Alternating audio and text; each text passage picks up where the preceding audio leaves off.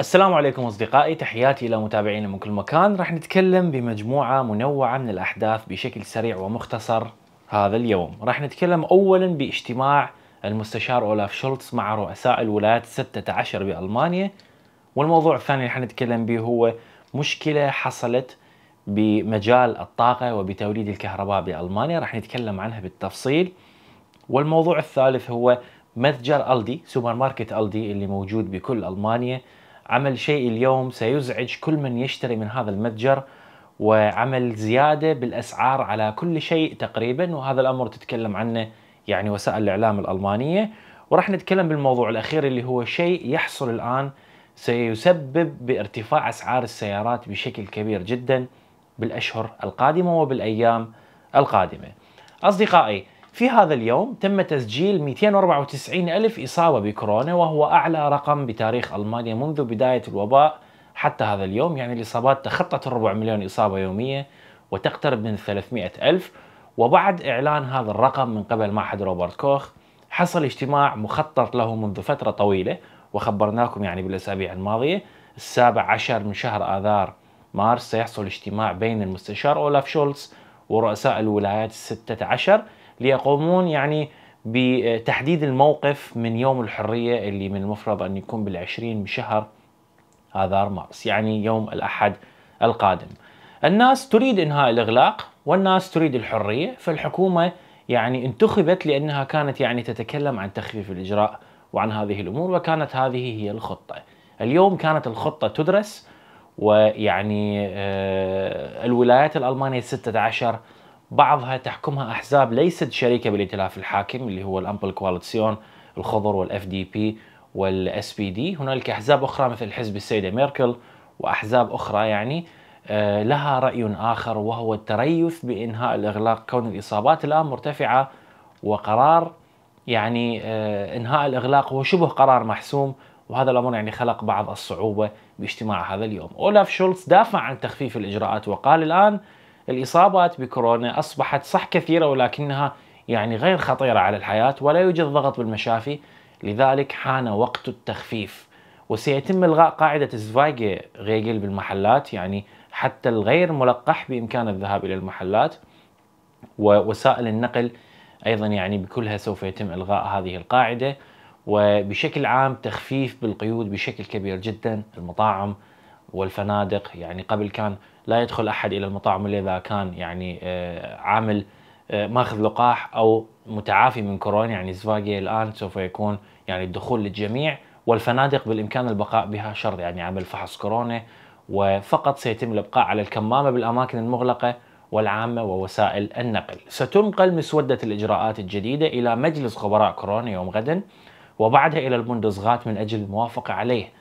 وإن حصل على موافقة يعني الإجراءات الجديدة سوف تدخل حيز التنفيذ ابتداء من يوم الأحد القادم وإن رفضت سوف يعني يكون هناك إمكانية عمل طعن لكي يعني يتم القبول بها أم لا.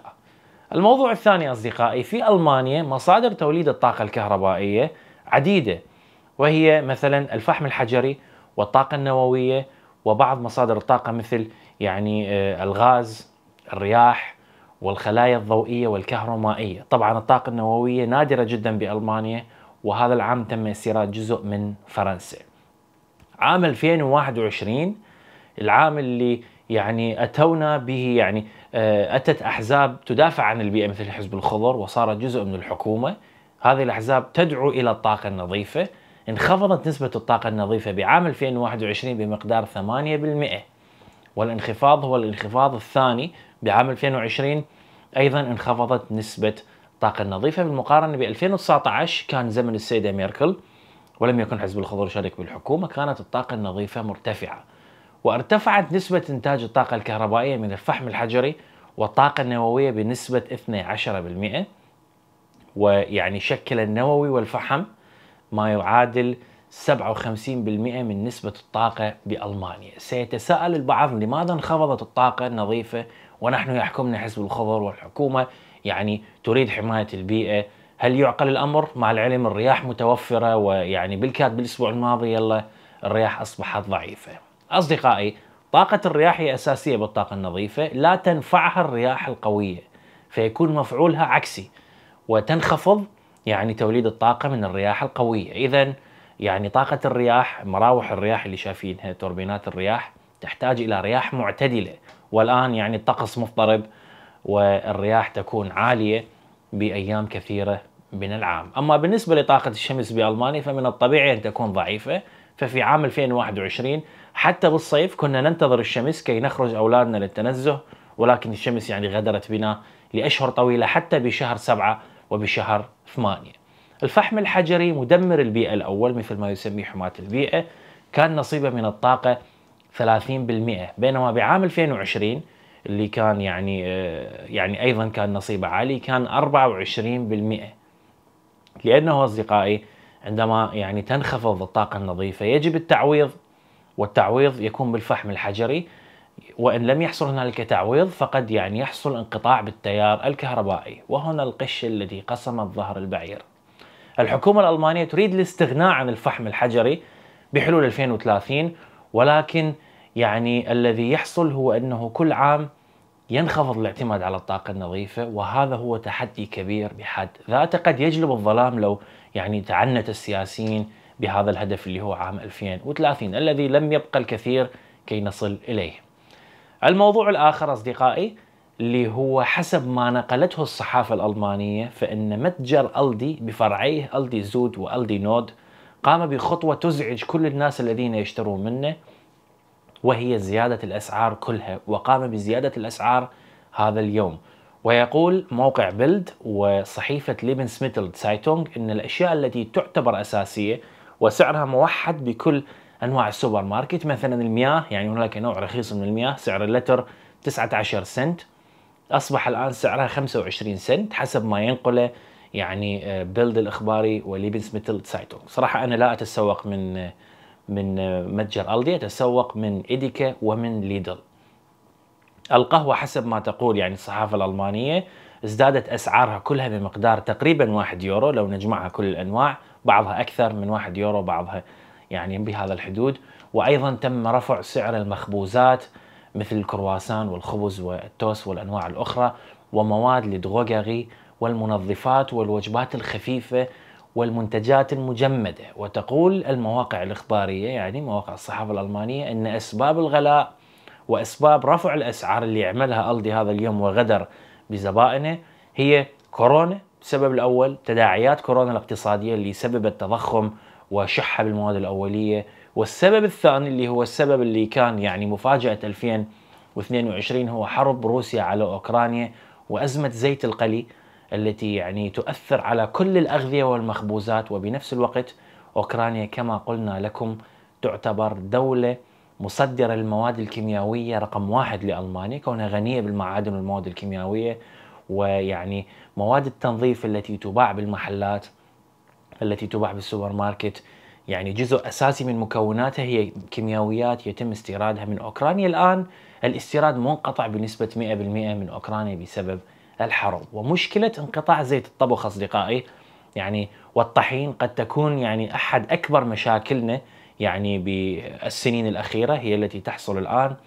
ويعني ليس فقط زيت القلي اللي هو زيت الزون بلومن أول أو زيت يعني دوار الشمس بل حتى زيت الزيتون الآن يعني به ندرة بألمانيا. وزيت الغصب أول ويعني هذه المشكلة هي يعني شبه الغموض كون أوكرانيا بلد القمح أي بلد الطحين والخبز وبلد الزيوت يعني لم تقم بتهيئة الأراضي الزراعية بهذا الموسم بفصل الربيع يتم حرث الأراضي كي تزرع يعني بنهاية الربيع وبداية الصيف. لم تهيئ الأراضي للزراعة فما الذي سوف تواجهه يعني العالم أو البشرية عندما يحين موعد يعني الحصاد الافتراضي الذي لم يزرع شيء الآن بأوكرانيا فقد يكون الربع الثالث والربع الرابع من هذا العام يعني صعب جدا. لا نريد أن نستبق الأمور لا نريد أن نكون متشائمين ولكن يجب أن ننتبه إلى هذا الأمر. أوكرانيا وروسيا يزودون العالم بأغلب احتياجاته من القمح والآن يعني هنالك حروب وهنالك يعني جزء من الضبابية بخصوص مستقبل هذه الأمور. أصدقائي نتكلم الآن بالموضوع الأخير. القناة الألمانية الأولى تتكلم عن مشكلة تواجه قطاع صناعة السيارات بألمانيا اللي هو تتميز بألمانيا سيارة ال BMW والفولكس فاجن سيارة الشعب والمرسيدس اللي هي يعني مشهورة بالعالم كله. صناعة السيارات تعاني من مشكلة بألمانيا وهي نقص المواد الأولية. وهذه المشكلة جعلت صناعة السيارات تتباطأ بشكل كبير جدا. وليس فقط تتباطأ بل أن السيارات يرتفع سعرها بسبب قلة الإنتاج لأسباب يعني أخرى سنذكرها بسياق هذا الفيديو. ومن اشترى السيارة بالعام الماضي وبعام 2020 فالآن ثمن السيارات نتكلم عن الحديثة طبعا يعني ازداد بمقدار 13% والمشكلة هي أنه السيارات تحتاج إلى معدني النيكل والليثيوم ومعادن أخرى مثل البلادينيوم والبلاتينيوم وهذه المعادن أغلبها تأتي من روسيا. وأوكرانيا. أيضا رجعنا إلى نفس الدائرة وهي أوكرانيا. بمجرد تحريك فلاديمير بوتين للجيش الروسي باتجاه أوكرانيا تخيلوا ما الذي حصل بالبورصات ما الذي حصل بسوق يعني المعادن. فقط تحريك الجيش الروسي تجاه حدود أوكرانيا الغنية بالنيكل وروسيا أيضا غنية بالنيكل. هذا الأمر بعام 2021 بدون أن ندري نحن ناس عاديين نحن مستهلكين ولا نعمل يعني معامل صناعة السيارات ولا بالبورصة. ارتفع سعر النيكل اللي يعني يعتبر أساسي بصناعة السيارات بمقدار 100% عن عام 2020 تخيلوا فقط تحريك قطاعات الجيش سبب هذا الاضطراب بصناعة السيارات.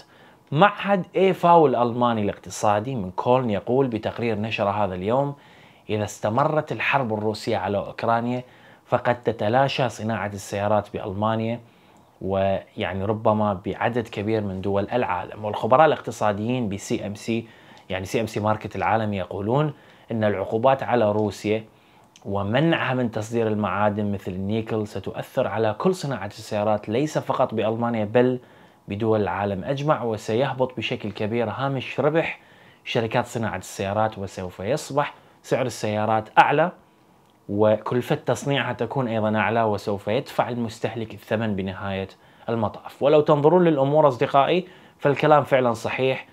ويعني كل السيارات الآن مرتفع سعرها. وكورونا عمل ثقل آخر على صناعة السيارات بسبب الإغلاق لجأ الكثير من البشر إلى ال home office اللي هو يعني العمل من المنزل واشتروا أجهزة كمبيوتر. يعني بمنزلي يوجد أربع أجهزة لابتوبات وجهاز PC و... وثلاثة شاشات هذه أحدهم. هذا الأمر جعل شركات صناعة التكنولوجيا تصنع كثير وتحتاج إلى الرقائق اللي هي تشيب اللي هي الرقائق الإلكترونية. والأمر أدى بنهاية المطاف إلى أزمة بسوق الرقائق الإلكترونية والأخيرة تدخل بصناعة السيارات بشكل مهم جدا جدا.